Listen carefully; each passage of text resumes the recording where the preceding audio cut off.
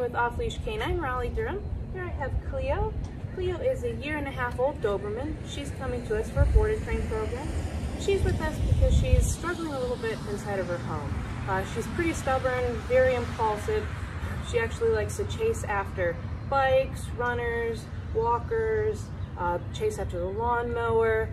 Uh, she's just overall just really very impulsive. She likes to bark at people and other dogs. Uh, she likes to jump up or lunge at different people, especially new people. She doesn't know how to say hello and be have good manners.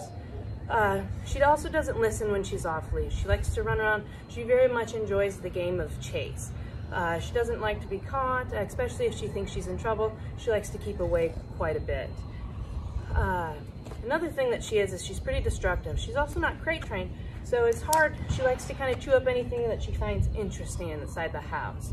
Uh, she also likes to play a little bit too rough with her ferret brother. Uh, so her parents kind of want to be able to have her understand that that's not acceptable. Um, just overall leash manners, she very much likes to pull. Uh, she paws at the owners when she's bored or looking for attention.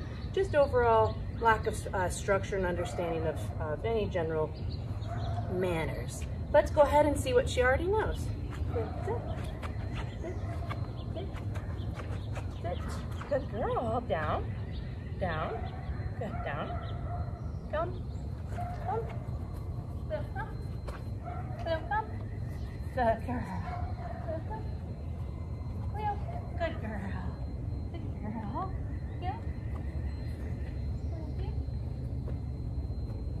Heel, heel, Cleo, come, good girl, come, Cleo, come, good.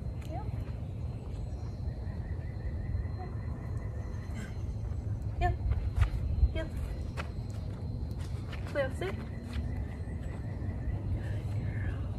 You can see that last little bit, she also uh, likes to body check her owners.